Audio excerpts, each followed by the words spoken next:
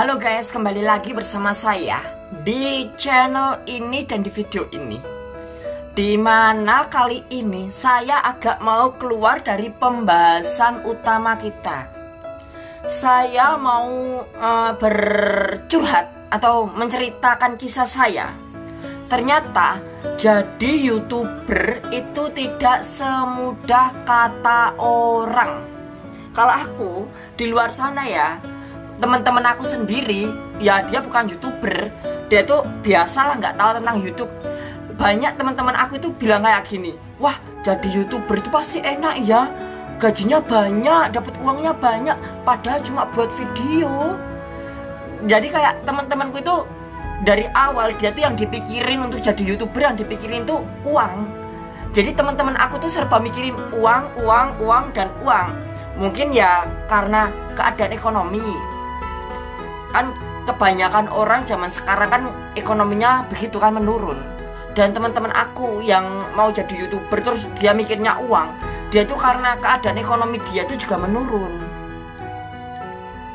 Dan ternyata ternyata aku juga lihat beberapa uh, suatu video-video yang membahas mengenai youtuber.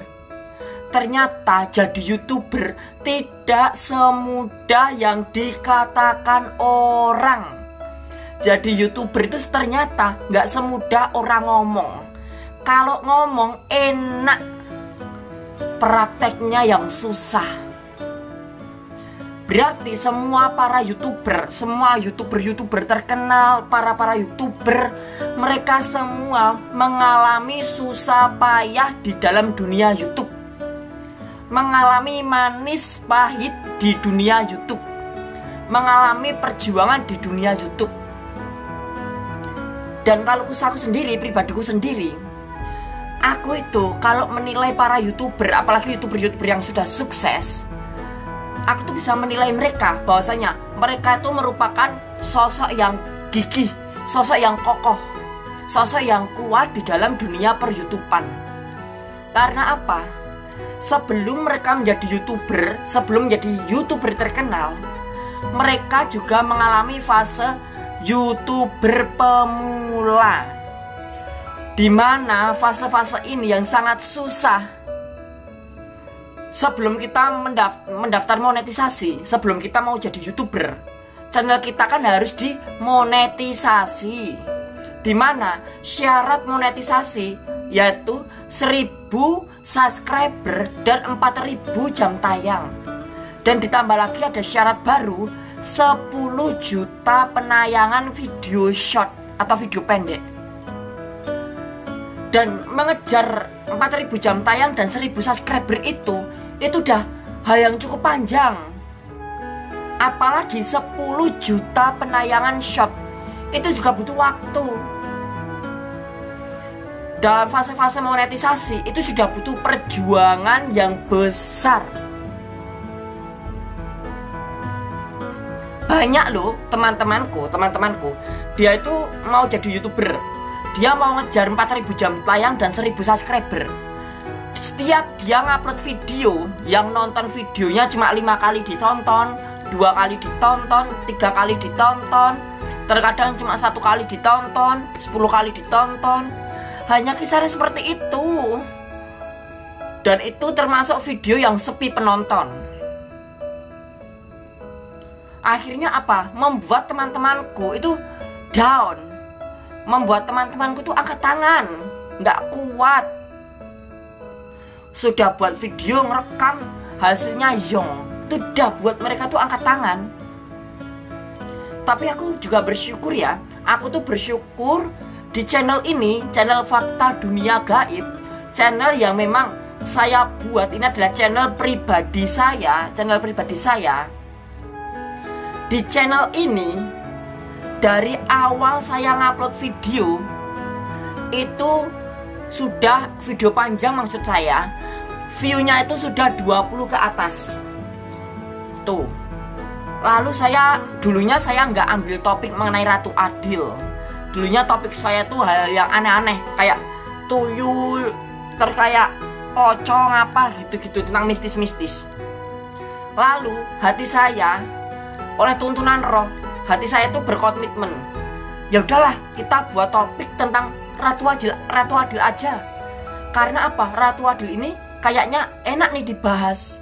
Apalagi banyak orang terutama orang Indonesia orang Jawa itu banyak yang nonton nontonin Ratu Adil gitu. Lalu saya komitmen saya komitmen saya buat tentang Ratu Adil pertama kali saya buat video tentang Ratu Adil itu yang judulnya ciri-ciri Ratu Adil yang asli. Dan viewnya viewnya penontonnya itu langsung meningkat. Langsung mendapat 2000 2000 view ke atas. Aku juga kaget. Subscribernya itu sudah langsung nambah 50 lebih lah. Tuh aku kaget loh. Ternyata benar tuntunan roh. Berarti ini memang merupakan satu pintu terbuka bagi saya. Saya memang disuruh untuk membuat video yang mengatasnamakan sang Ratu Adil. Membuka tabir tentang Ratu Adil.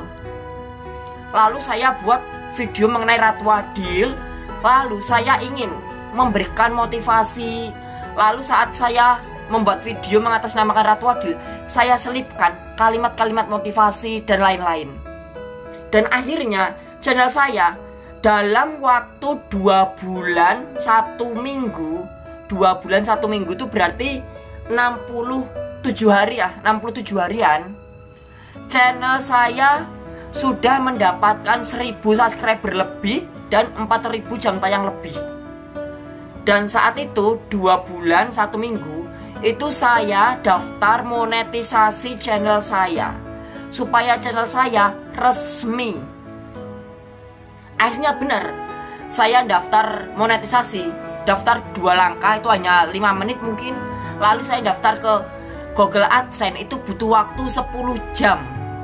Dan saya juga daftar untuk monetisasinya ditinjaunya itu butuh waktu satu hari. Lalu setelah itu sudah resmi saya mendapatkan notifikasi supaya saya harus melak tidak melakukan apa-apa saya tetap fokus ngupload video dan saya buat video yang durasinya di atas 8 menit supaya saya bisa mengaktifkan iklan mid roll. Iklan mid roll adalah iklan yang ada di tengah-tengah video. Biasanya kalau kamu nonton video yang durasinya di atas 8 menit, nanti di tengah-tengah video itu ada iklan lagi muncul. Itu namanya iklan mid roll. Terkadang iklan mid roll itu nggak bisa di skip karena itulah supaya apa? 10 dolar pertama bisa saya dapatkan. Akhirnya benar. Dalam jangka waktu satu bulan saya baru mendapatkan 10 dolar pertama dan itu uh, susah payah. Itu sungguh menyedihkan. Tuh dalam waktu satu bulan cuma mendapatkan 10 dolar. Inilah kenapa para youtuber-youtuber yang sudah sukses dan youtuber-youtuber yang sudah bisa berdiri sendiri. Kenapa saya mengatakan mereka itu adalah orang yang tangguh? Karena apa? Mereka berani berjuang dari awal sampai sukses di dunia YouTube dan tidak semudah bicara. Semuanya butuh proses dan perjuangan yang hebat. Lalu saya sukses mendapatkan 10 dolar pertama. Dan channel saya sekarang sudah mulai di daftarkan ke Google AdSense. Dan nanti peninjauannya butuh beberapa hari. Doakan saja semoga channel saya bisa cepat maju dan berkembang pesat. Semoga Tuhan melancarkan kemajuan channel ini dan perkembangan channel ini demi kesuksesan channel ini dan saya punya niat mau membuka podcast saya ingin mengundang orang-orang yang memang dia tuh butuh bantuan. Selain itu, dia itu uh, orang yang memang perjuang hidupnya tuh keras. Supaya apa? Supaya kalian semua nantinya para subscriber di channel ini bisa mendapatkan motivasi dari kehidupan orang-orang yang ada di luar sana. Doakan saja semoga channel ini cepat sukses. Terima kasih sudah mau tonton video ini.